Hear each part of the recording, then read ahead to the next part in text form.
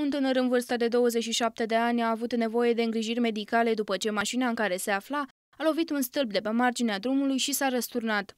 Evenimentul a avut loc în această dimineață pe calea națională din municipiul Botoșani.